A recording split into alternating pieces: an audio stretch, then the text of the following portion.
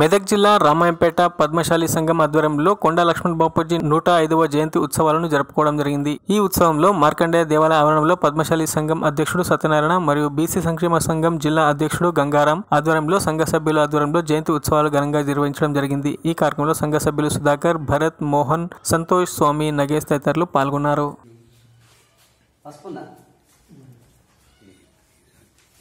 రామాయంపేట పట్టణ పద్మశాలి సంఘంతో పాటు బీసీ సంక్షేమ సంఘం జిల్లా శాఖ నాయకత్వంలో ఈరోజు ఆదివారం నాడు కొండా లక్ష్మణ్ బాపూజీ జయంతి ఉత్సవ వేడుకలను నిర్వహించడం జరిగింది.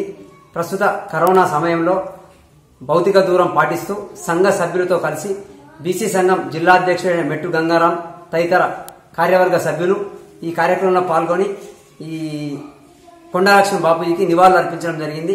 ఈరోజు అదేవిధంగా ఆయన సేవలను ఇక్కడ కొనియాడారు.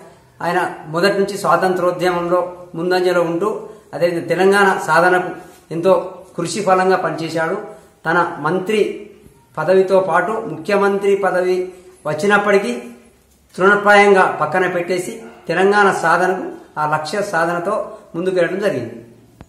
ఈరోజు కొండా లక్ష్మణ్ బాపూజీ గారి నూట ఐదవ జయంతి సందర్భంగా మరి రాష్ట్ర ప్రభుత్వం అన్ని జిల్లాల్లో అధికారికంగా నిర్వహిస్తున్నారు కాబట్టి చాలా సంతోషం. అయినప్పటికీ మరి రామాయంపేట పట్టణంలో ఉన్నటువంటి పద్మశాలి సంఘం ఆధ్వర్యంలో జరిగిన జ- ఇప్పుడే జరిపించుకోవడం జరిగింది. మరి పాల్గొన్నటువంటి కుల సభ్యులందరికీ ధన్యవాదాలు తెలియజేసుకుంటూ మరి నిజమైనటువంటి నివాళి ఎప్పుడంటే మనందరము మన పద్మశాలి సంఘం కాకుండా మరి బీసీ సంక్షేమ సంఘంలో అన్ని కులాలు అన్ని బీసీ కులాలు బడుగు బలైన వర్గాల కులాలు ఏమైతున్నాయో అన్ని ఏకమై ఒక తాటిపైకి వచ్చి మన విజయం సాధించుకొని మనం హక్కులు మన హక్కులు మనం సాధించుకున్నప్పుడే నిజమైన ఆయనకు నివాళి అర్పించినట్టు అవుతుందని చెప్పేసి సందర్భంగా మనవి చేస్తూ జై పూలే! జై